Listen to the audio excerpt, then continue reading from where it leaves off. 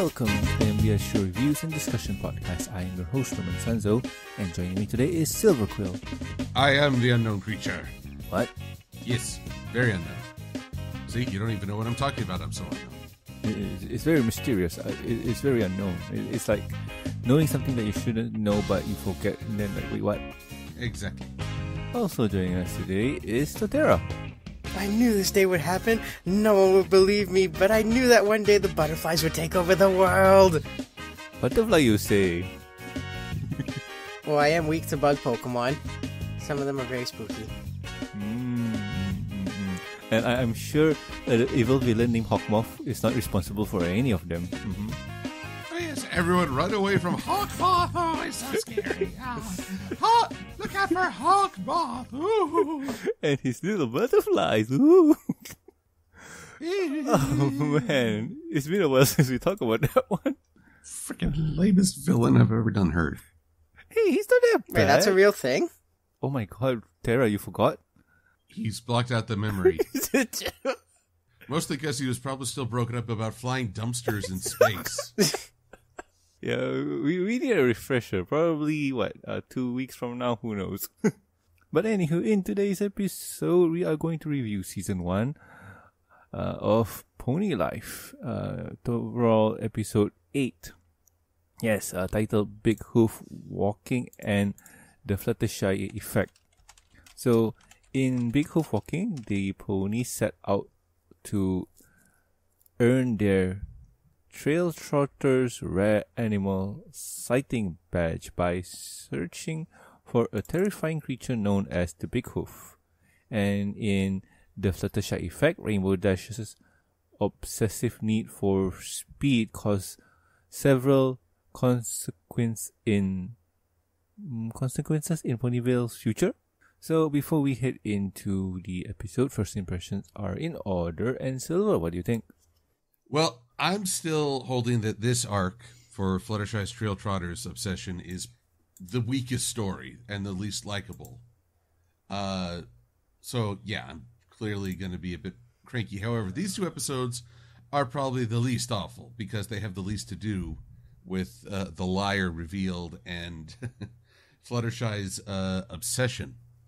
So by and large, they're just well, okay, silly romps for uh for the um the hunt for this mythical creature, the first the first episode. The Rainbow Dash one is just wow, that was a thing and now it's over.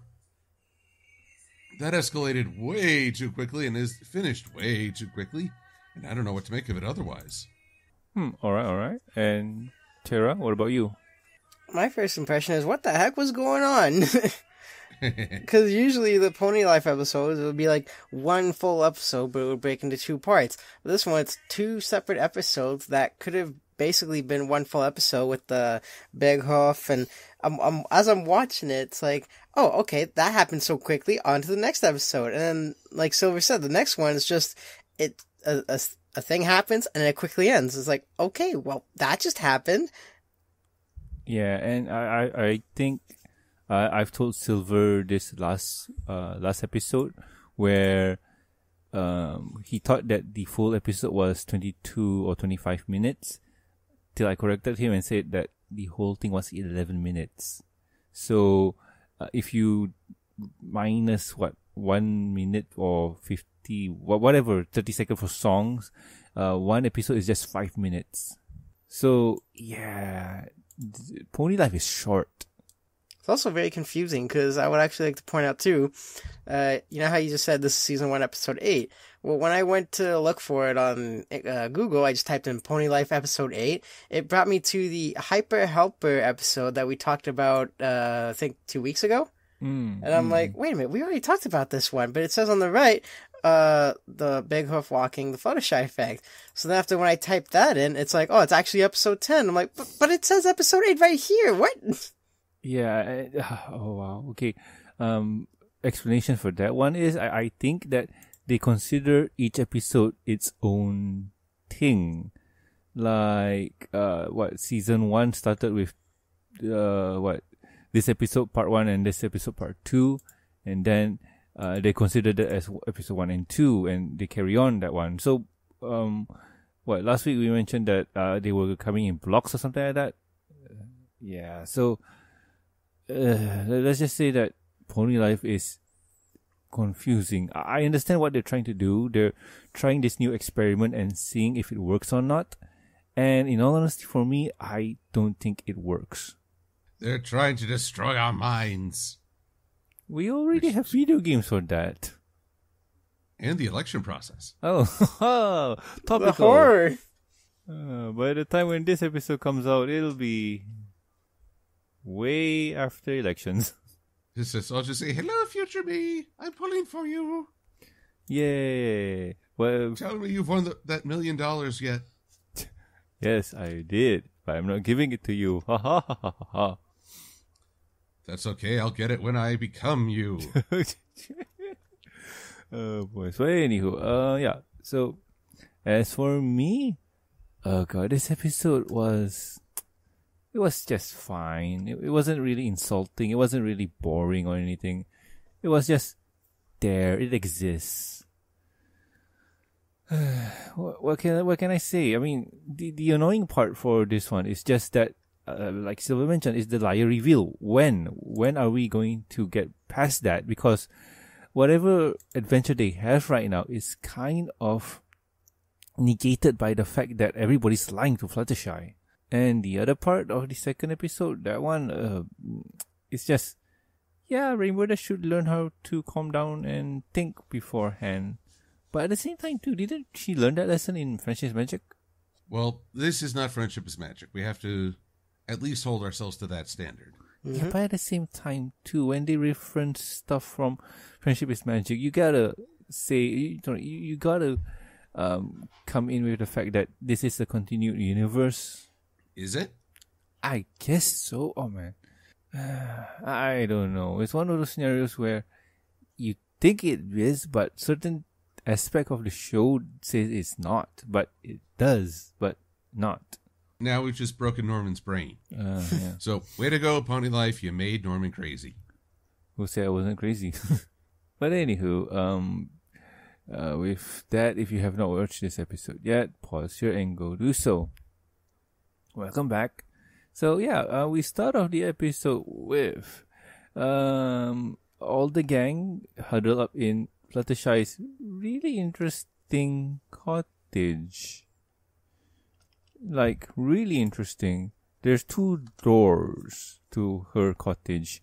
One is on the lower ground and one is above ground. I don't remember that existing. What? Oh no, this is a very different cottage, but, uh, you know, Pegasus entrance. I'm more concerned that she has the Screamer as a painting. yeah. Oh boy. So anywho, um, everybody goes to Fluttershy's cottage, and Twilight is downloading an app that can look for uh, what you call this. If I'm not mistaken, look for wild animals or something like that. Trail Trotters basically wants you to get photos of rare creatures. And so it's just a database delivered on a literal cloud. cloud data. Ah, okay, okay. That that was that was funny. That that, that was funny. I I give it that. It still doesn't make sense though how it works when they when Twilight plugs the cord in it. Yep, downloading the cloud. You mean when she gets a hold of Discord? oh yeah. Uh, this guy haven't appeared yet, but I can't wait to see him in action. oh my god, it's painful. But anywho, um, after downloading the app, uh, wha- whatever it is they did, um, the group kind of asked Pinkie, sorry, Fluttershy, what are they going to look for? Uh, they they range from uh, world's slowest cheetah to kangaroo, know, pouch and so on. And Fluttershy says, "No, I, I want to hunt down the elusive big hoof," and everybody's shocked and surprised and in fear. Applejack comes in, says, "Yeah, it's true. I I read it online. Yep, yep." And Twilight Sparkle confirms it. Uh, I think what? Where did she read it? Where where, where did she read that? Uh, hmm. Looking up on Merpedia. Merpedia. uh, okay, yeah. Hmm. Oh, boys. Okay. yeah. Oh, boy. I'm gonna pause here. Silver, what do you think? Well, I mean, right now they're just this is just the setup, but we're seeing how this world is different from Equestria. I mean, one, they have a picture of the screamer. It's not a pony, so humans may be a thing. Tablets are much more a thing in this in this show.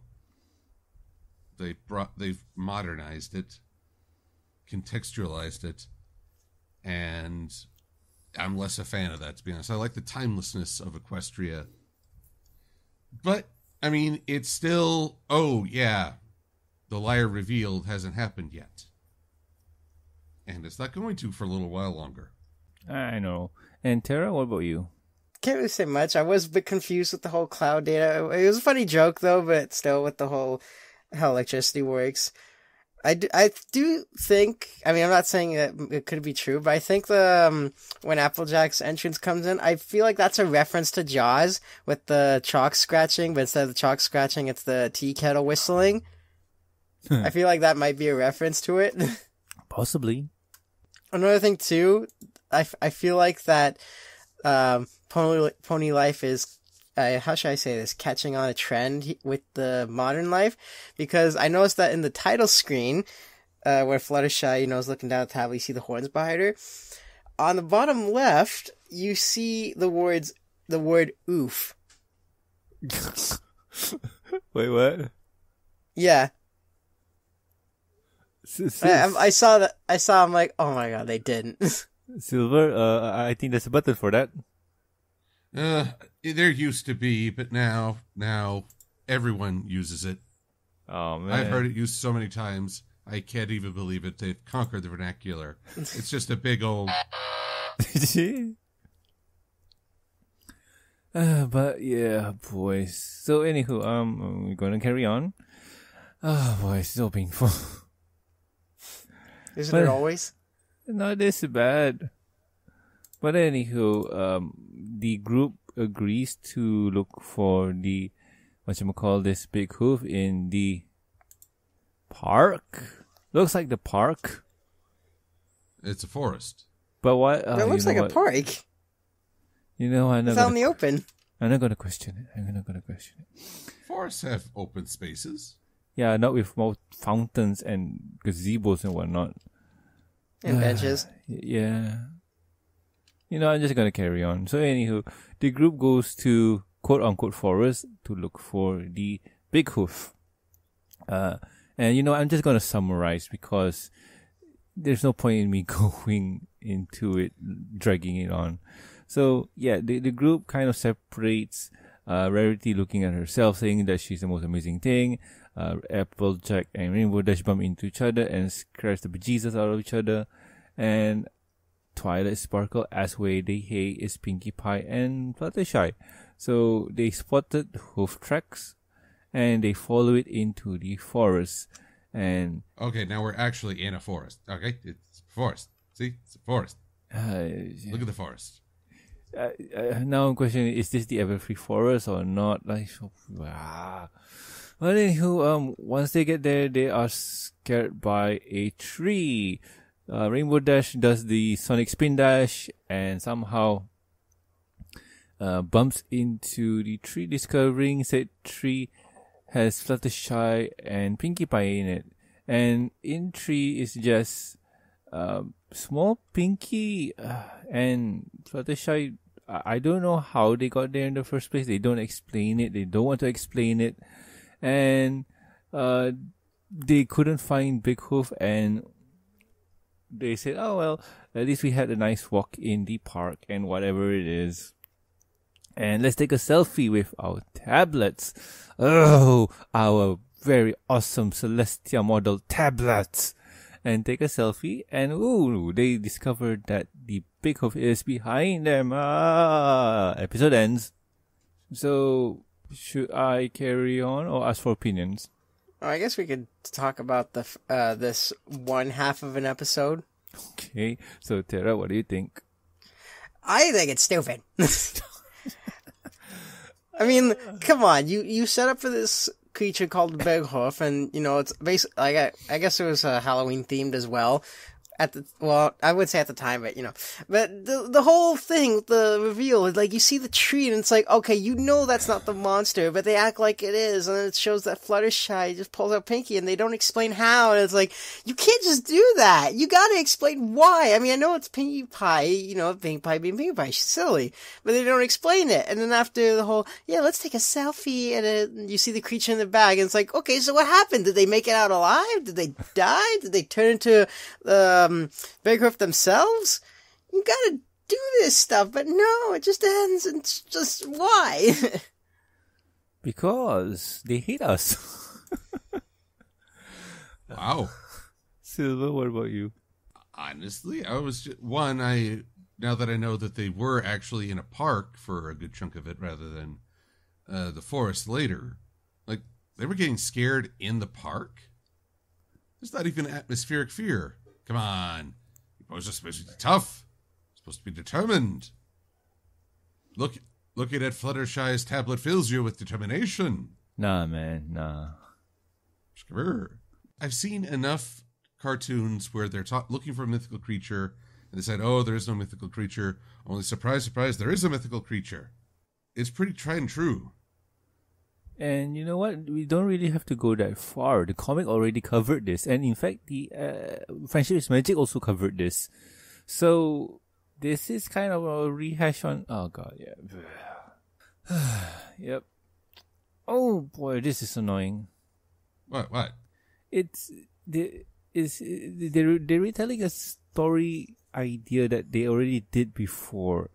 Uh, Friendship is Magic did it in uh, season uh, nine, where Apple Bloom and Applejack was trying to hunt down the whatever creature was that called again. I forgot.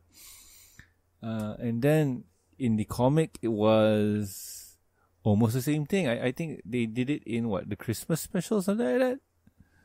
And I think they did it twice. Ah man, um, it, no, they did it with Fluttershy, uh, the CMC and the Forest. I mean, the trope has been done before, and they did it in other places, but in Pony Life, I, I don't know. I, I think because of the short uh, show format, that's why the episode feels bad.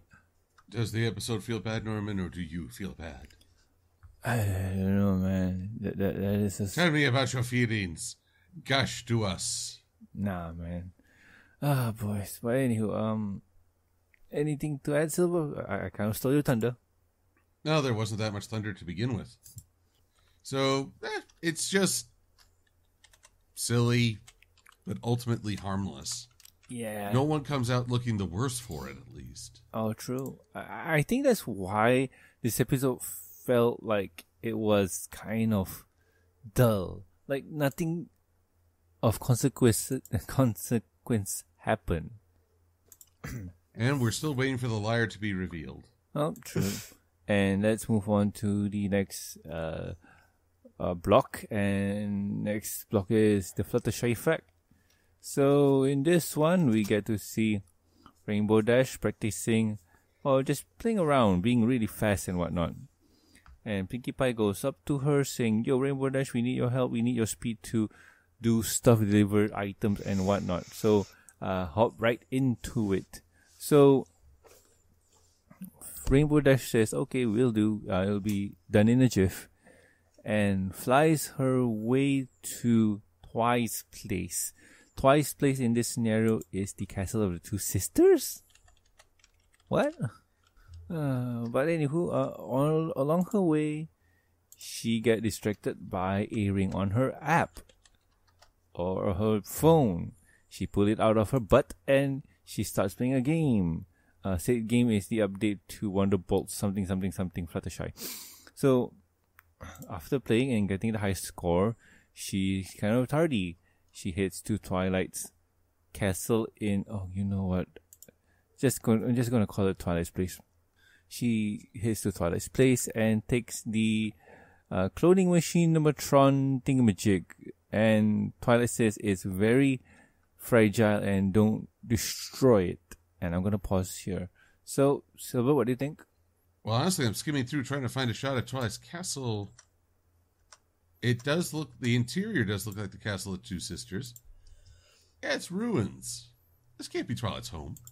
Yeah, how could she even live in a place like that? Uh, hmm. Silver, would you say it's an upgrade from before? No, because now there's open holes in the ceiling. I mean, if anything, if this is how they, they depict Twilight's friendship castle, they made it worse. Uh, it doesn't even make sense. Why would it be in the Castle of the Two Sisters? Well, I mean, they do find cre- they do find creepy, weird technology and uh, spells there.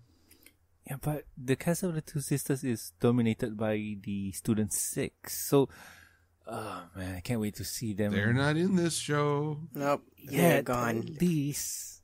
Norman, you must you must let go of the friendship is magic if you are to progress on your road to being less butthurt. No, Otherwise, we'll we'll have to call the ambulance on you. no, never. Friendship is magic. What beat me? All right, well then, Torterra, we need to call the ambulance and have them help our friend with a severe case of butthurtness. Yep. He just can't sit still on this otherwise. but but anywho, um, carrying on. Um, wait, uh, I I asked Silver and I haven't asked Tara. Sorry, Tara. What what do you think? Can't really say much. It's basically the same as every episode. It's always with the start. It always starts up with a setup. You know, Rainbow Dash is doing something, and then Pinkie comes in and goes, "Yeah, thank hoofness, I found you." Which is like, wait, what did she say? I had to go back a couple of times. And be like, what did she say? She said hoofness. Like, okay, well now I know. And knowing is half the battle. G.I. Joe. But no, and then the, I guess the one thing that could be relatable is Rainbow Dash going, a new game just dropped out today. Be like, oh, I am so on that girl. Uh, but responsibilities. yes, responsibilities first. Oh, stupid, stupid responsibility. Hate you. yes, responsibilities. And now I know how Silver feels. Uh, but anyway, we continue on. Applejack and Rarity at Sugar Cube Corner trying to decorate the place on time. And uh, Rainbow Dash pops in and says, Yo, I'm here and let's get this party finished. So the what you call this uh, magic thingy that Twilight gave is kind of a cloning thingy. Uh, you insert one thing here and it pops out copies of said thing that you put in. So she inserted balloons and the place is almost done or not yet done and Fluttershy is at the door. Fluttershy, sorry, Rainbow Dash grabs a butterfly and puts it into the machine and somehow it time travels her into the distant future where it's ruled by insects. Yes. Yes. So, Do you remember the name of the place? no, what was it called? I, if I remember, the Pinkie Pie hologram calls it Monarch Monarchville, like the monarch butterfly. Oh, So they just call it Monarchville instead of Ponyville. This is also a call to Destiny and their new monarchy. Makes sense because you know they got rid of all the ponies, so now it's nothing but monarch butterflies. Hmm. So, anywho, um, Rainbow Dash travels into the future, and Pinkie Hologram tells her that you messed up. Uh, uh, Tank pops in and somehow is flying on a hoverboard and also is able to talk with some kind of device that let her let him speak. So Rainbow Dash panics and tries to find a way to the past uh, Tank grabs a hold of her and says that you should stop, calm down, and think. And she does, and somehow that puts her back in her in, in time to the point where Pinkie Pie meets up with Rainbow Dash, and with that, Pinkie Pie, sorry, Rainbow Dash uses the knowledge that she has to do things right and not procrastinate. And yeah, go to party and make things work. Episode ends. Oh boy. Okay, um Silver, what do you think?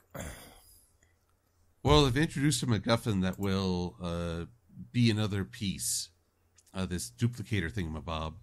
it's going to be a plot point in, in at least one other episode. So spoilers. No. But honestly, this feels like wow, you you went with really wild stuff and then you just ended it right away. This could have been a two-parter very easily. I mean, just having them in this uh, monarchyville, ruled by apparently totalitarian butterflies. I kind of want to see this world.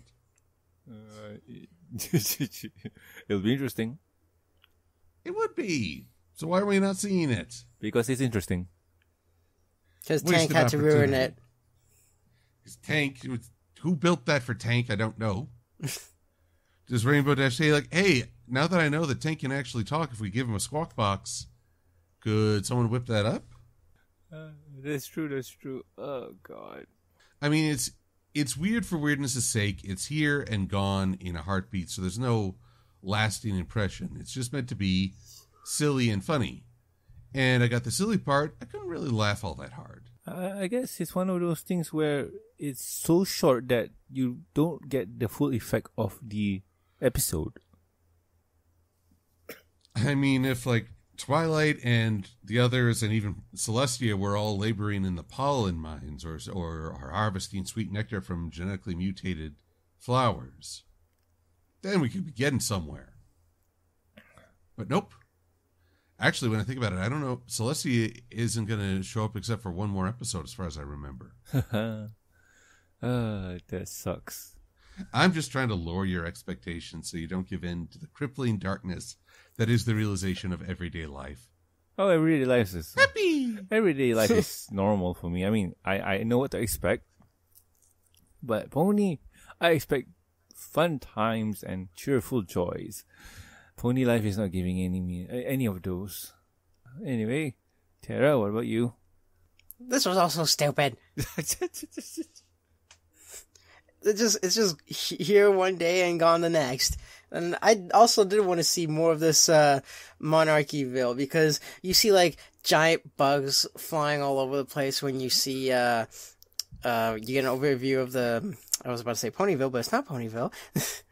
but I did want to see like like Silver said, this could have been a two parter. It could have been the first part with Rainbow Dash, you know, doing what we just saw earlier, and then she does Butterfly Cone, and then they could have ended with the overhead view of the new Monarchville. But no, it just ends so quickly. Tank has to fly in, tells her to find her inner peace, or you know, take things slow and all that stuff, and then she just magically goes back in time, back to where she started, and we don't even see the aftermath of Rainbow Dash fixing the party because as she's on her way to go fix the party, she just gets scared away by a butterfly and it ends there. I'm like, it's over already? Yeah. Oh God, it's so short. It's it's very short. And as for me, Almost as short as Norman's temper with this. Uh, and as for me, oh god, this this episode here was interesting. I, I do like the concept where Rainbow Dash needs to learn how to stop, think, and sorry, stop, look, and think. Like,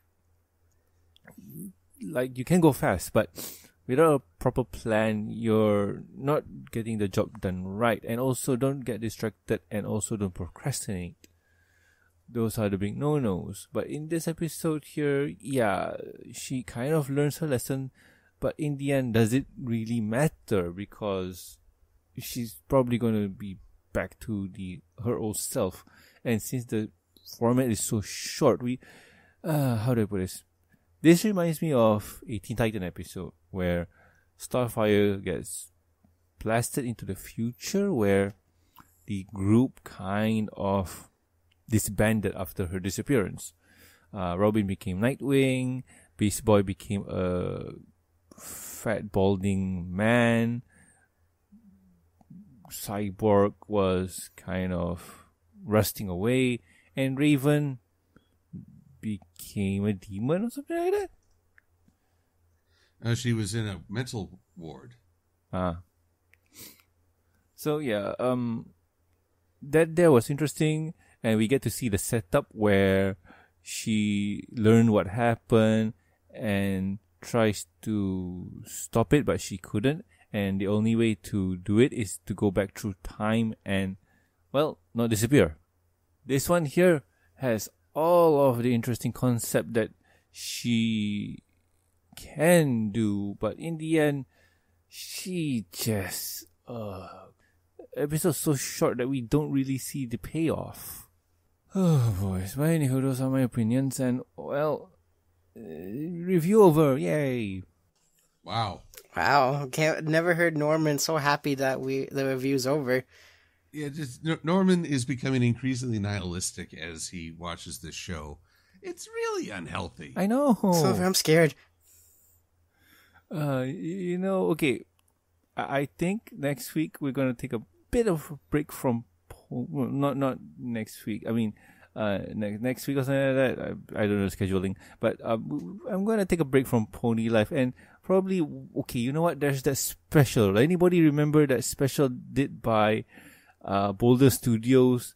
The one where um Rainbow Road Trip. Remember anybody remember that one? I remember that. Remember? Me remember? Yeah, let's do that one. It's been a while.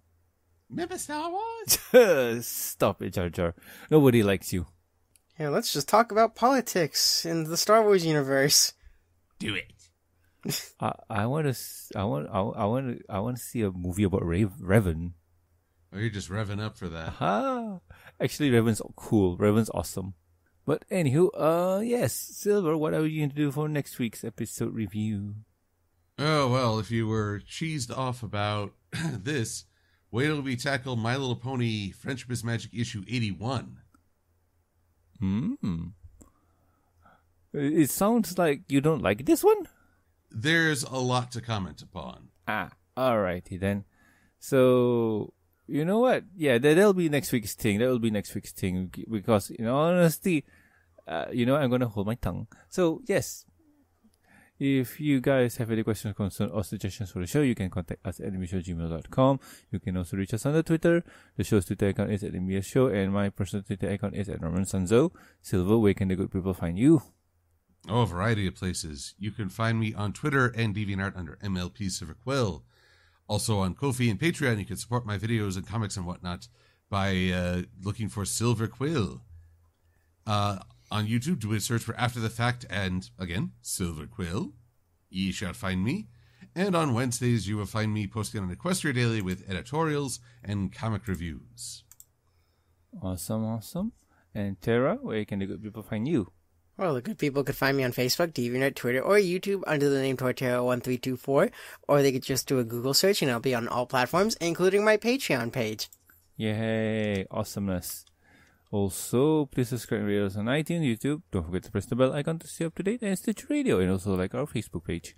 You can also catch us on ponylive.com.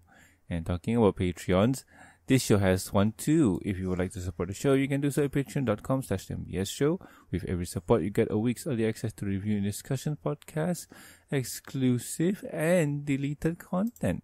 And talking about thank yous, I would like to thank Lucky Knight, Jeffrey, Tristan, and also myself. Like, thank you so much, guys. You are great. So anyway, I have been Norman Sanzo, I am the Silver Quill. And I am the Torterra. and we'll guys catch you next week with another fun episode of the MBS show. See ya. Adios. Bye bye.